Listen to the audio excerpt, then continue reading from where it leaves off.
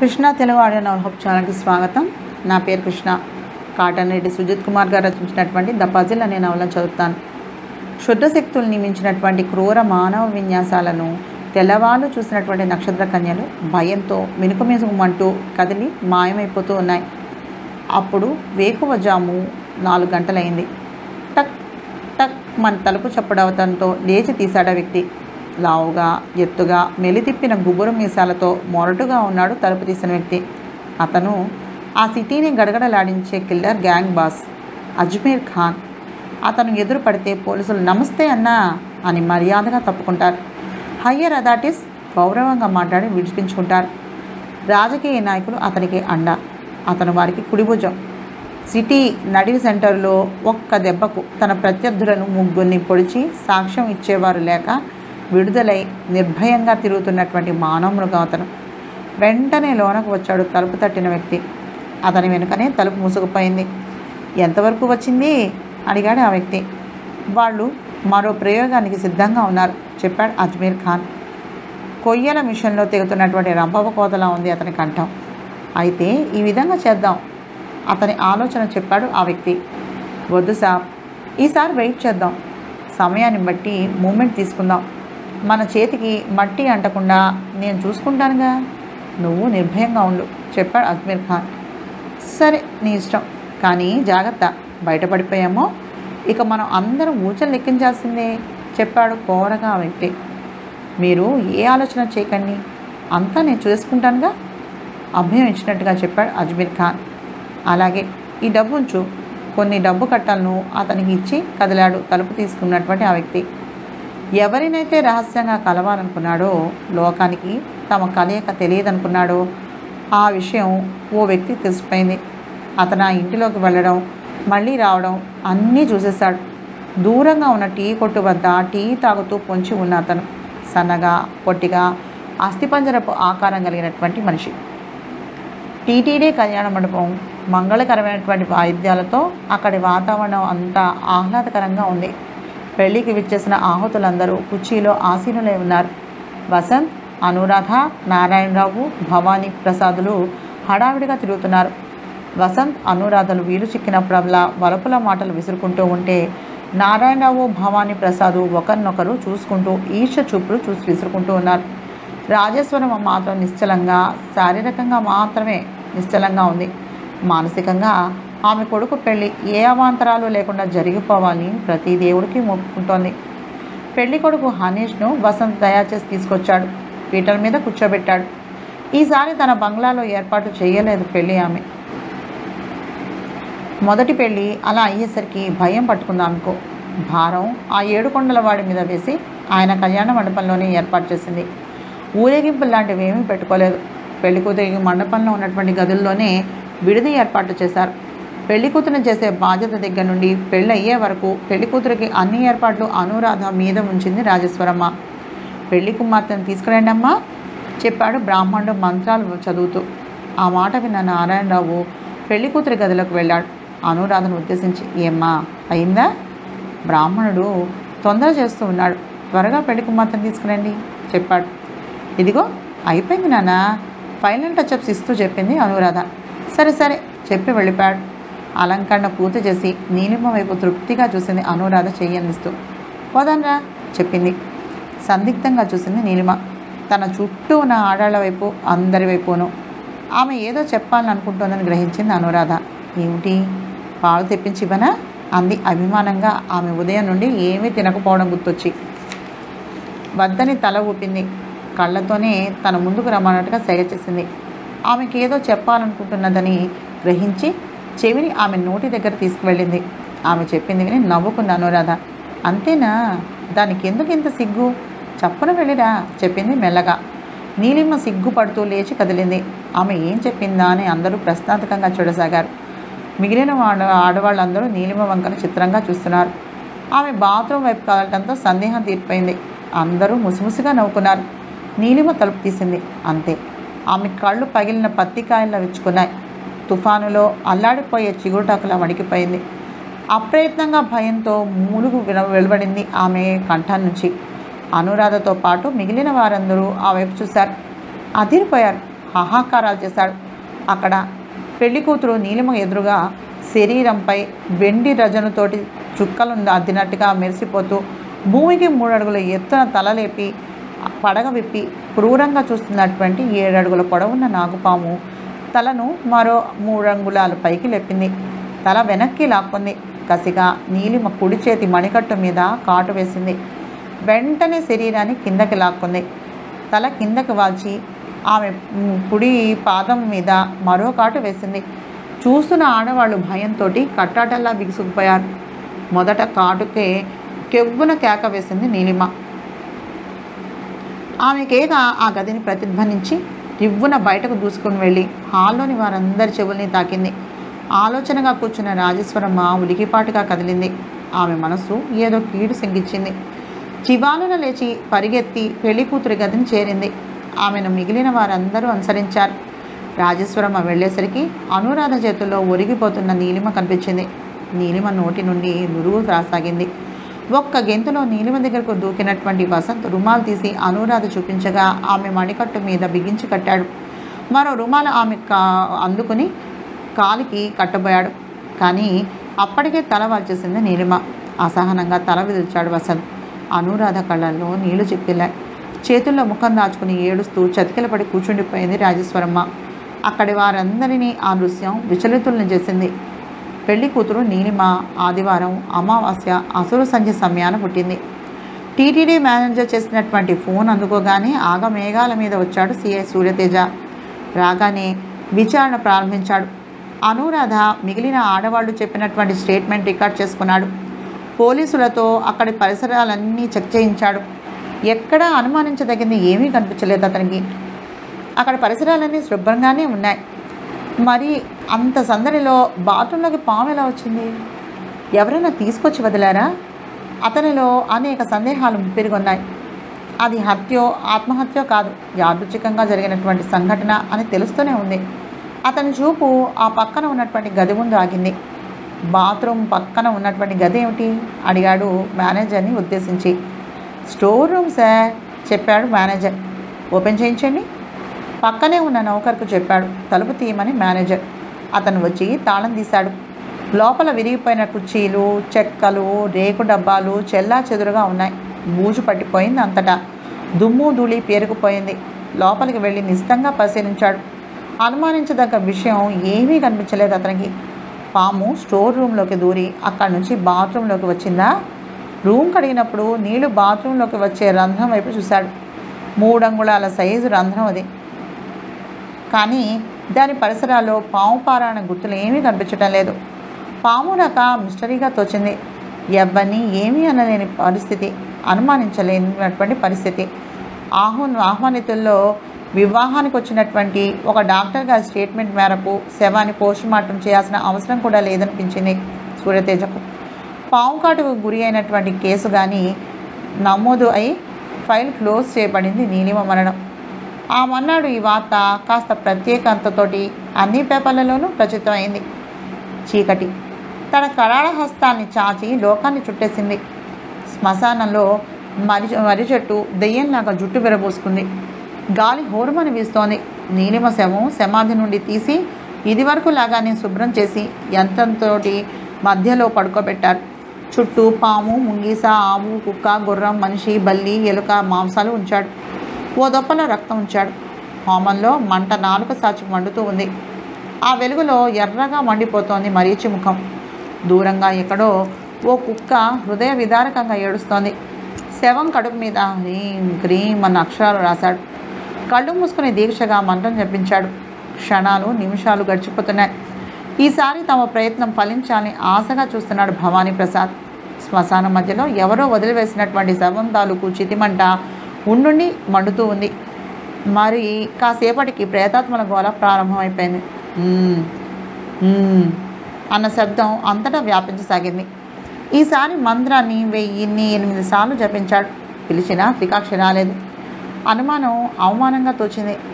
ఆకాశం వంక చూశాడు. వేగుచుక్క పొడుచుకు వస్తోంది. అంతలోనే ఒక అనుమానం తడుక్కున స్ఫురించింది. సూటిగా ఆమె రెండు కాళ్ళ మధ్యకు చూశాడు. పరీక్షగా అలా ఓ నిమిషం చూసి చత్ ఈమె కన్య కాదు. మైలుపడ్డ మగువ. అన్నాడు కోపంగా. అందుకే తనింత నిష్టగా ఉండి కూడా ఉపాసన ఫలించలేదు. ఆ విషయమే భవానీ ప్రసాద్కు చెప్పాడు. కేవలం ఆమె కన్నతనం కోల్పోయినందుకే ఈ ప్రయోగం ఫలించలేదు. చి ఈ రోజుల్లో ఎవరు శీలం కలిగి ఉన్నారో ఎవరు కోల్పోయారో తెలియటం లేదు అనుకున్నాడు భవానీ ప్రసాద్. అష్టభైరవులకు రక్తం మాంసం అర్పించి లేచాడు మరీచి. ఉస్సూరని కదిలారు వారిద్దరు. శవం పాతి పెట్టుకుని వారు వెళ్ళిన కొన్ని క్షణాలకు సమీపంలో ఉన్నటువంటి ఓ పొదమాటు నుండి శరీరం అంతా బొగ్గుపొడి రాసుకున్న భారీకాయుడు కూడా లేచిని కదిలాడు. వారు ముగ్గురు వెళ్ళిన మరికొన్ని నిమిషాలకు ఆ మర్రి చెట్టుతో కొమ్మలో కదలిక వచ్చింది. నల్లని దుస్తులు ధరించినటువంటి ఓ ఆకారం కిందకు దిగింది. అది సన్నగా పొట్టిగా ఉన్నటువంటి అస్థిమంజరపు ఆకారం కలిగినటువంటి మనిషి.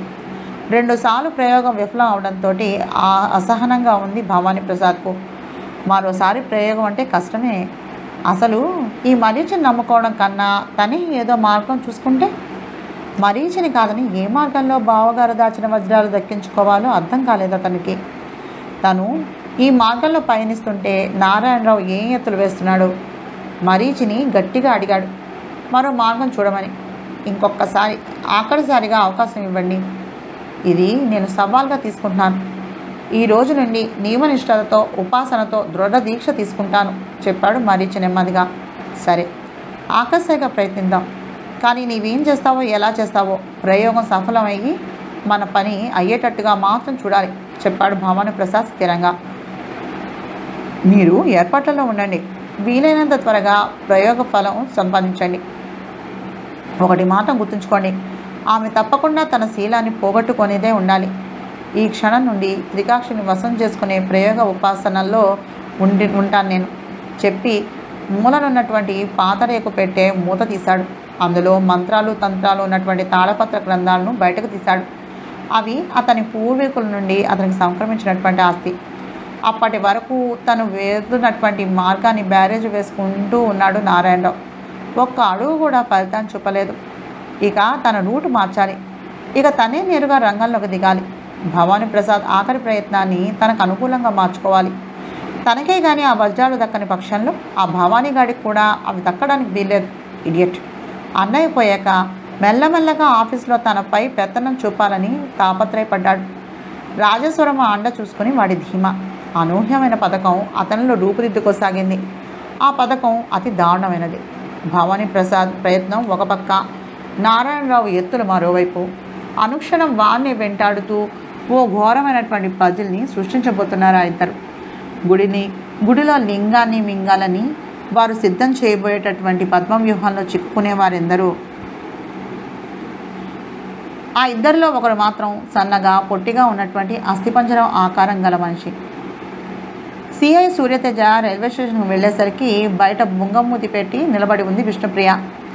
ఆమె పక్కనే ఆమె ఫ్రెండ్ కూడా నిలబడి ఉంది. ఏంటన్నయ్య? మేము వచ్చి ఎంతసేపు అయిందో తెలుసా? అన్నది చిరుకోపంగా. సారీ విష్ణు ఓ కేసు అటెండ్ అయ్యవ్వాల్సి వచ్చింది అందువల్ల లేట్ అయింది అయినా ట్రైన్ లేట్గా రావాలే. కరెక్ట్ టైంకి ఎలా వచ్చిందబ్బా? అన్నాడు బ్యాగ్ తీసుకుంటూ. నువ్వు లేటుగా వచ్చావని ట్రైన్ కూడా లేటుగా రావాలా? ఆహా మన ట్రైన్స్ ఏనాడు టైంకి రాలేదు కదా అని. తన ఫ్రెండ్ని సూర్యతేజకు పరిచయం చేసింది. పరస్పర పరిచయాలు జరిగాక ముగ్గురు జీప్లో ఇంటికి చేరారు.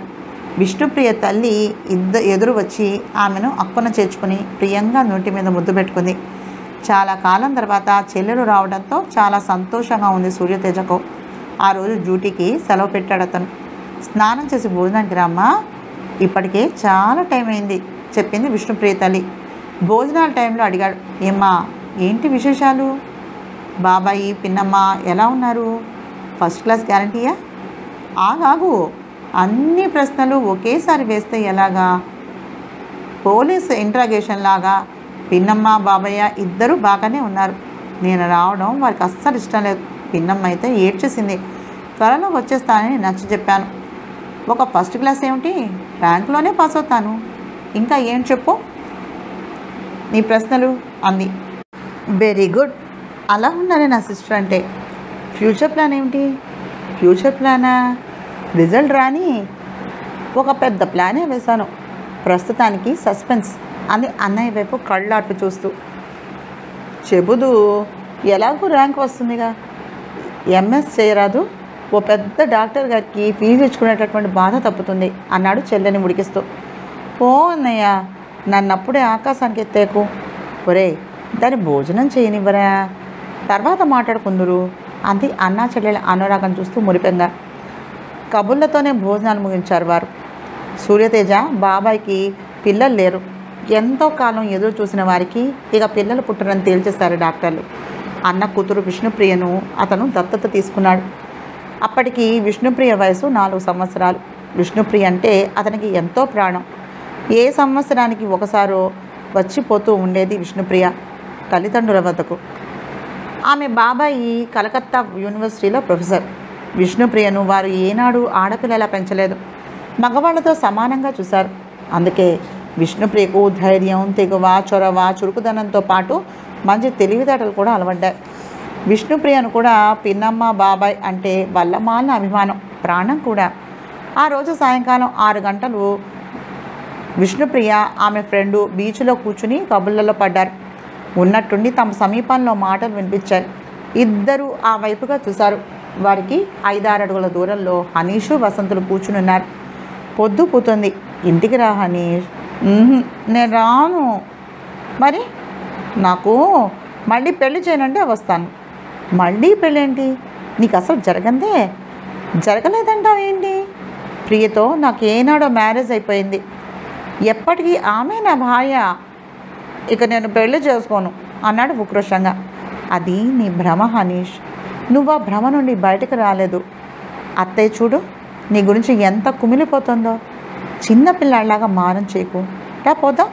లేచి చేయి పట్టి లాగాడు వసంత్. విసూరుగా చెయ్యి విదిల్చుకున్నాడు హనీష్. భ్రమే కానీ కలే కానీ ప్రియే నా భార్య. ఇక నేనెవ్వరిని పెళ్ళాను? పదే పదే ప్రియాని వినిపించడంతో వారి సంభాషణ ఆసక్తిగా కొనసాగింది విష్ణుప్రియ. తల తిప్పి హనీష్ను కింద నుండి పై వరకు పరిశీలనగా చూసింది ఆమె. ఒక్కసారి చూస్తే మరిచిపోలేని రూపం హనీష్ది. ఆ ఒడ్డు పొడుగు అందం ఏ అమ్మాయినైనా చాలా రోజులు వెంటాడుతుంది. భలే హ్యాండ్సమ్గా ఉన్నాడు కదూ. ముందుకు వంగి చిన్నగా చెప్పింది విష్ణుప్రియ చెవి దగ్గరగా. మాట్లాడకు. వారు వింటే బాగుండదు అంది చెవి తను చిన్నగా. సరే అలాగే నీ ఇష్ట ప్రకారం జరిగేలాగా చూసే బాధ్యత నాది. కమా ప్లీజింగ్గా చెప్పాడు. హనీష్ మాట ప్రకారం ఒప్పుకుని ముందు అతన్ని ఇంటికి తీసుకెళ్తే చాలు అనుకున్నాడు వసంత్. ఏదో గొణుగుతూ లేచిని కదిలాడు హనీష్. వారు వెళ్ళే వైపే వరకు అటే చూస్తూ ఉండిపోయింది విష్ణుప్రియ. ఎప్పుడూ తన గదిలో గడిపేటటువంటి హనీష్ను అప్పుడప్పుడు అలా బయటకు తీసుకువస్తూ ఉంటాడు వసంత్ రాజేశ్వరం కోరికపై. అప్పటికప్పుడు అప్పుడప్పుడు అలా బయట ప్రపంచంలోకి తీసుకుని వెళ్తే కాస్త రిలీఫ్ పొందుతాడని రాజేశ్వరం ఆలోచన. మనిషిలోని ఆశ ఎన్ని సందిగ్ధాలనైనా అణచివేస్తుంది. మళ్ళీ మళ్ళీ మరో అడుగు ముందుకు వేయడానికి కోరిక పుట్టిస్తుంది. ఈసారైనా మన కార్యం నెరవేరదా అన్న జిజ్ఞాస కలిగించి ముందుకు నడిపిస్తుంది. రాజేశ్వరమ్మలో ఆ ఆశే మళ్ళీ వివాహ ప్రకటన ఇవ్వడానికి కారణమైంది. ఆ తర్వాత అంతా మామూలే. ఇంటర్వ్యూని అందిస్తూ అప్లికేషన్లు రావడం సెలెక్టివ్ మెంబర్స్ కాల్ లెటర్స్ వెళ్ళడం ఏ హడావిడి లేకుండా సింపుల్గా ఇంటర్వ్యూలు జరుపుకోవడం అన్నీ చకచకా జరిగిపోయాయి. ఈ మారు వివాహం రిజిస్టర్ ఆఫీసులో నిర్ణయించింది రాజేశ్వరమ్మ. రెండు పెళ్ళిళ్ళు విఫలమైపోవడంతో భయం వేసిన రాజా రాజేశ్వరమ్మ ఓ నిశ్చయానికి వచ్చింది. దానికి తోడు అట్టహాసంగా పెళ్ళి చేయాలంటే ఏదో బెరుకుగా ఉందనుకో. ఎంతో ముఖ్యమైన బంధువుల్ని స్నేహితుల్ని తప్ప ఎవ్వరిని పిలవలేదు వివాహానికి ఆమె. అందరూ కలిసి పాతిక ముప్పై మంది మించి రాలేదు పెళ్ళికి అందరూ కాఫీ టిఫిన్లు ముగించారు. అప్పుడు సమయం ఉదయం పది గంటలైంది.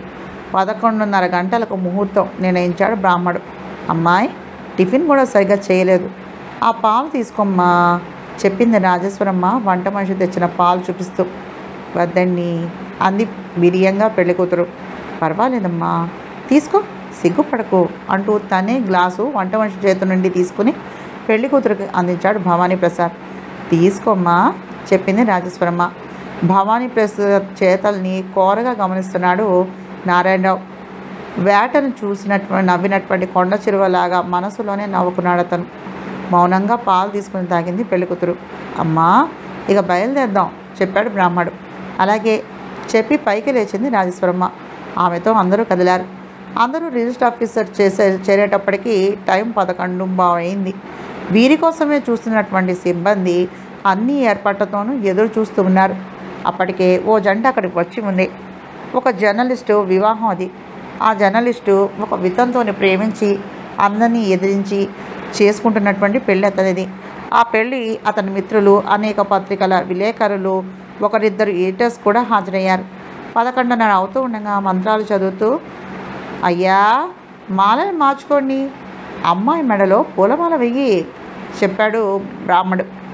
సహజంగా రిజిస్టర్ ఆఫీసులో ముందు పెళ్ళి కొడుకు పెళ్ళి కూతురి చేత సంతకాలు చేయిస్తారు. వెనక కొంతమంది సాక్షులు సంతకాలు చేస్తారు. ఆ పైన దండలు మార్చుకోవడం పరిపాటి. కానీ ఇక్కడ దండలు మార్చుకున్నాక మిగతా కార్యక్రమం పూర్తి చేద్దామనేటటువంటి రాజేశ్వరమ్మ కోరికపై ఆ ఏర్పాటు చేయడం జరిగింది. ఆనందం పొంగుతూ ఉండగా సిగ్గుతో తలవాల్చి హనీష్ మెడలో దండ వేసింది పెళ్ళి కూతురు. పక్కన జర్నలిస్టు చేసుకోబోయేటటువంటి అమ్మాయి కూడా అతని మెడలో మాల వేసింది. హనీష్ చేతికి మాల ఇచ్చి అమ్మాయి మెడలో వేయి బాబు చెప్పింది రాజేశ్వరమ్మ. జర్నలిస్ట్ తన కాబోయే భార్య మెడలో మాల వేశాడు. నా పెళ్ళి అయిపోయిందిగా? మళ్ళీ దండల మార్పిడి ఎందుకు? అన్నాడు రాజేశ్వరమ్మ చెవిలో రహస్యం చెప్తున్నట్టుగా హనీష్. ఆమె గుండె జల్లుమంది. ఇప్పుడు మొండికి కానీ వేస్తాడా? ఏమిటి? ఇంతవరకు చెప్పినట్టే విన్నాడు. ఇంతలో ఇలా మారాడేంటి? అందరిలో ఆమెకి ఏం చెప్పాలో తోచలేదు.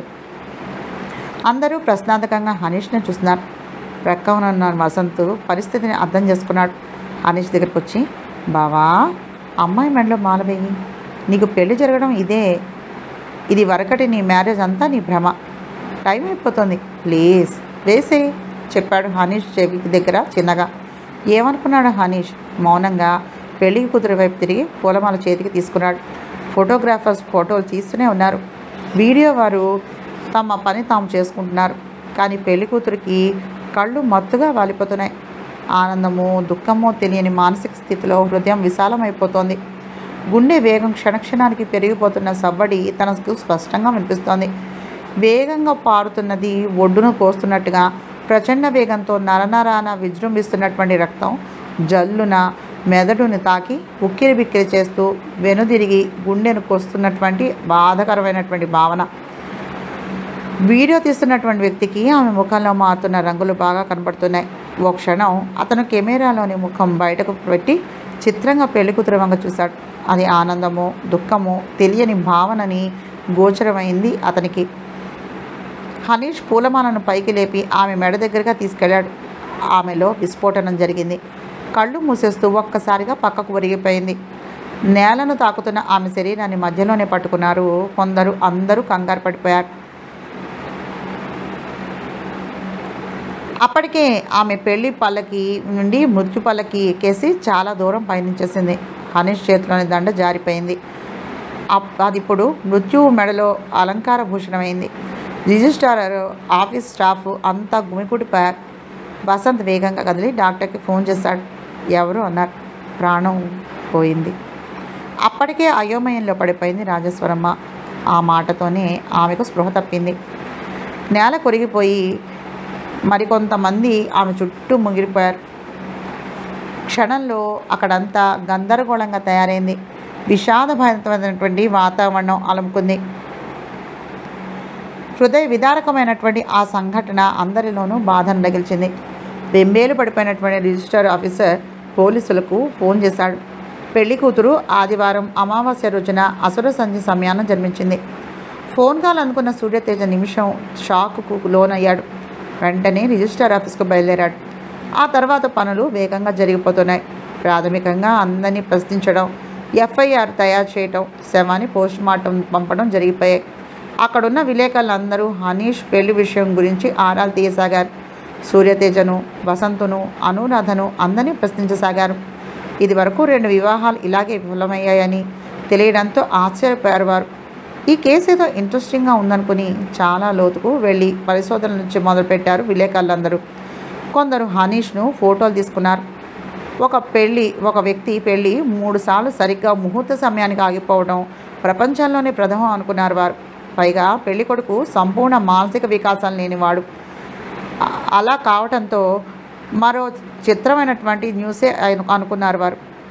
ఒక వ్యక్తికి నిశ్చయమైనటువంటి అమ్మాయిలు ముహూర్త వేళకు మృత్యుబాన పడటం మహాచిత్రంగా తోచింది విలేకరులందరికీ. పెళ్ళి కూతురి పోస్ట్ మార్టం రిపోర్టు రిజల్ట్ కోసమని ఆ సాయంకాలం వరకు ఉత్కంఠతో ఎదురుచూశారు. సాయంకాలం పోస్ట్ మార్టం రిపోర్టు చూసినటువంటి సూర్యతేజ అయోమయంలో పడిపోయాడు. ఆ రిపోర్టు అధిక రక్తపోటు వల్ల మెదడులోని నరాలు చిట్టిపోవడంతో సెర్రబల్ హెమరేజ్ మరణం సంభవించింది. భరించలేని ఆనందం కలిగిన దుఃఖం ముంచుకొచ్చిన తట్టుకోలేని సున్నిత హృదయాలు ఇలాంటి హఠాత్ పరిణామానికి గురి కావడం అనేది సహజమని డాక్టర్ల రిపోర్టు. చిత్రమైన ఆ రిపోర్టు ఒక సూర్యతేజకే కాదు అందరినీ ఆశ్చర్యంలో ముంచింది. అనుకోని అందలం అందుకోబోతున్నటువంటి ఆ అమ్మాయి భరించలేని దుఃఖం కలిగే అవకాశం లేదు. ఇక ఆ కన్య హృదయం అవధులు మించినటువంటి ఆనందానికి స్పందించి ఆగిపోయిందా? డాక్టర్ని కలిస్తే ఏ పది లక్షల కేసులోనో ఏ ఒకటి ఇలాంటిది ఉంటుంది అన్నారు. సరే ఇక ఆ విషయం వదిలేసి హనీష్ విషయానికి వస్తే ఒకసారి కాదు రెండుసార్లు కాదు మూడు సార్లు సరిగ్గా ముహూర్త సమయానికి పెళ్ళి కూతుళ్ళు ఎలా చనిపోతున్నారు? యాదృచ్ఛికంగా అయినా ఎలా? ఎలా జరుగుతున్నాయి? ఎలా జరుగుతున్నాయి ఇలాంటి సంఘటనలు? అమ్మాయిల వెనుక ఏదైనా కుట్ర జరుగుతుందా? ఎందుకు ఎవరే ఉంటారు? మొదటిసారిగా సూర్యతేజలో అనుమాన బీజం మొలకెత్తింది. ఇది వరకు క్లోజ్ అయిపోయినటువంటి ఇద్దరు పెళ్ళి కూతుర్ల కేసులు ఉన్నటువంటి ఫైల్స్ బయటకు తీశాడు అతను.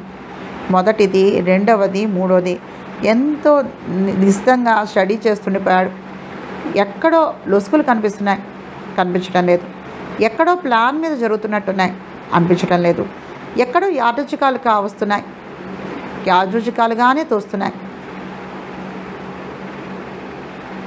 చాలాసేపు ఎటు నిర్ణయించుకోలేని పరిస్థితుల్లో పడిపోయాడు. సూర్యతేజ ఒకవేళ ఇవి ప్రీ ప్లాన్ మర్డర్స్ అయితే హంతకుల్ని అతను మనసులోనే మెచ్చుకోకుండా ఉండలేకపోయాడు. ఇక నుండి ఇలాంటి మ్యారేజ్ ఇంటర్వ్యూలు జరిపితే అప్పటి నుండి వారిపై ఒక కన్ను వేసి ఉంచాలని నిర్ణయించుకున్నాడు సూర్యతేజ. కళ్యాణ రాత లేని దురదృష్టవంతుడు. ముహూర్త సమయానికి మృత్యువు కాటేస్తున్న మిస్టరీ. పెళ్ళి లగ్నం మరణ లగ్నం అయిన అభాగినులు. ముహూర్త సమయానికి యాదృచ్ఛికంగా బలైపోతున్న పెళ్ళి కూతుళ్ళు. పెళ్ళి అయితే కానీ పిచ్చి కుదరదని యువకుడు. రకరకాల హెడ్డింగులతో ఆ మరునాటికి అన్ని పేపర్లలోనూ ప్రత్యేకంగా హనీష్ వివాహ వార్త ప్రచురింపబడింది. మొదటి పెళ్ళి నుండి సంగ్రహంగా రాసుకొచ్చాయి కొన్ని పత్రికలు. హనీష్ ఫోటోతో సహా ప్రచురిస్తూ రాశారు. కాలచక్రంలో మరో రోజును దొల్లించడానికి ఉదయభానుడు ప్రయాణమే వస్తున్నాడు. అప్పుడే వ్యాయామం పూర్తి చేసి తలస్నానం చేసి ఫ్రెష్గా తయారైంది విష్ణుప్రియ. తల్లి ఇచ్చిన కాఫీ సిప్ చేస్తూ వరండాలో కూర్చుంది. అల్లిబిల్లిగా గ్రిల్స్ దాటి వస్తున్నటువంటి పచ్చని సూర్యకిరణాల అందాన్ని ఆస్వాదిస్తూ పేపర్ కోసం వెయిట్ చేసాగింది. రోజు ఈపాటికే పేపర్ వచ్చేది? ఇవాళ ఎందుకు ఆలస్యమైంది? అనుకుంది. ప్రతిరోజు ఉదయం పేపర్ చూడటం ఆమె దినచర్యలో ఓ భాగం. అప్పుడు వచ్చాడు పేపర్ బాయ్. లేచి చేతికి అందుకుంది. మొదటి పేజీ అంతా చదివి పేజీ తిప్పింది. రెండో పేజీలో చూసింది ఆ వార్త. పెళ్ళి లగ్నం మరణ లగ్నం అయిన అభాగినులు అన్న హెడ్డింగ్తో పెద్ద అక్షరాలతో బాక్స్ కట్టి ప్రచురింపబడిన ఆ వార్తను ఆసక్తిగా చదివింది. హనీష్ ఫోటో కూడా వేశారు ఆ పేపర్ వాళ్ళు. ఆ న్యూస్ వింతగా తోచింది ఆమెకు. ఇది ఎలా సాధ్యం? ప్రతిసారి అలా యాదృచికంగా చనిపోవడం ప్రపంచ వింతల్లో మరో వింతలా ఉంది. హనీష్ ఫోటో చిత్రంగా చూసింది. ఎక్కడో చూసినట్టుంది. ఎక్కడా? మెదడుకు ఓ నిమిషం పదును పెట్టింది. ఎస్ ఇతనే. షూర్ నెల క్రితం బీచ్ దగ్గర తాను చూసింది ఇతన్నే. హనీష్ ముఖం పర్సనాలిటీ బాగా గుర్తుకొచ్చింది. అవును అతను ఇతను ఒక్కరే. తనకి బాగా గుర్తు. ఆనాటి హనీష్ మాటలు చెవుల్లో ధ్వని ప్రతిధ్వనిస్తున్నాయి. తనకి మ్యారేజ్ అయిపోయింది. ఇక ఏ పెళ్ళి ప్రయత్నాలు వద్దన్నట్టుగా. మరి ఈ ఇంటర్వ్యూలు చావుల కథనం ఏమిటి? అతను పిచ్చివాడా? అలా అనిపించడం లేదే. ప్రశ్న సమాధానాలతో పావుగంట ఆలోచిస్తూ ఉండిపోయింది విష్ణుప్రియ. ఉత్కంఠతోటి లేచి అన్నయ్య గదిలోకి నడిచింది. సూర్యతేజ అప్పుడే నింట లేచి కాఫీ సిప్ చేస్తున్నాడు. అన్నయ్య ఈ న్యూస్ చూడు. హనీష్ మీద వ్రాసినటువంటి వ్యాసం చూపించింది. అతను ఓ మారు చూసి తనకు తెలిసిన విషయం అవడంతో క్యాజువల్గా చెప్పాడు. నిజమేనమ్మా ముహూర్తం సమయానికి అలా చనిపోతున్నారు. ఆ కేసులకు అటెండ్ అయ్యి ఇన్వెస్టిగేట్ చేసింది నేనే. ఎలాగా? ఎలా సాధ్యం? అన్నయ్య ఆ జాబ్లు నువ్వే చదివావు కదా? అది కాదు. ప్రతిసారినా అదే మరి చిత్రం. నేను ఇవి ప్రీ ప్లాన్ మర్డర్స్గా అను అనుమానిస్తాను. కానీ ఎలా చూసినా సాక్ష్యాధారాలను బట్టి యాదృచ్ఛికంగానే సంభవించినవిగా కనబడుతున్నాయి. ఒకరా ఇద్దరా? కొన్ని పదుల మంది ముందుగా పబ్లిక్గానే అనుకోని సంఘటనలతో మరణించారు. పాపం ఆ అమ్మాయిలు. జాలిగా చెప్పాడు. తను ఆ రోజు చూసినటువంటి సిచ్యువేషన్ చెప్పింది సూర్యతేజకు. అంతేకాదు పదే పదే తన మ్యారేజ్ అయిపోయినట్టుగా మాట్లాడాడు. నా ప్రియ ఉండగా నాకు మళ్ళీ మ్యారేజ్ ఏమిటని భ్రమైన కలైనా ఆమె నా భార్య అని వాదించాడు. నువ్వు ఏమైనా చెప్పనయ్యా? అతను ఖచ్చితంగా పిచ్చివాడు కాదు. ఒక డాక్టర్గా నాకు ఆ నాలెడ్జ్ ఉంది. కానీ మొదటిసారిగా నా అంచనాలు తప్పైతే మాత్రం చెప్పలేను. విష్ణుప్రియ మాటలతో సర్దుకుంటూ అలర్ట్ అయ్యాడు సూర్యతేజ. నువ్వు చూసింది ఇతన్నేనా? ఆ ఫోటో సరిగ్గా చూసి గుర్తు తెచ్చుకుని చెప్పు అన్నాడు ఆసక్తిగా. అన్నయ్య నా మెమరీని అనుమానిస్తున్నావు అవమానిస్తున్నావు. ఒక మనిషిని చూస్తే అంత త్వరగా మర్చిపోను. అందులో ఇతను డైనమిక్ పర్సనాలిటీ కూడాను. ఎలా మర్చిపోతాను? ఎస్ ఇతనే. ట్రేసర్గా చెప్పింది. అయితే ఇతను ఇంకా మర్చిపోలేదన్నమాట. తనలోనే స్వాగతంగా అనుకున్న అప్రయత్నంగా ఆ మాట పైకి వచ్చేసింది. ఏంటనే నువ్వు మాట్లాడేది? అబ్బే ఏం లేదు అన్నాడు తడబడుతూ. కాదు ఏదో దాస్తున్నావు. నాకేదో ఆలోచన కలుగుతుంది. అతను పదే పదే ప్రియా ప్రియా అని పలికాడు. అంటే అతను నీకు తెలిసి ఉండాలి. ఈ కుటుంబంలో వ్యక్తితో పరిచయం ఉండి ఉండాలి. ఒకసారి నాకు అనుమానం రాదు. వస్తే అది ఎప్పుడు నిజమవుతుంది? నీ తడబట్టే దానికి త- తార్కాణం. ప్లీజ్ చెప్పనయ్యా అంది బతిమలాడుతూ. ఇక తప్పించుకోలేకపోయాడు అతను. మొత్తం చెప్పక తప్పదనుకున్నాడు. కాటన్ రెడ్డి సృజిత్ కుమార్ రచించినటువంటి ద పజిల్ అనే నవల మూడో భాగాన్ని చదివాను. నా పేరు కృష్ణ. నా ప్రయత్నం మీకు నచ్చినట్టయితే మా కృష్ణ తెలుగు ఆడియో నవల హబ్ ఛానల్ను సబ్స్క్రైబ్ చేసి షేర్ చేసి లైక్ చేసి కామెంట్ చేయండి. నమస్తే.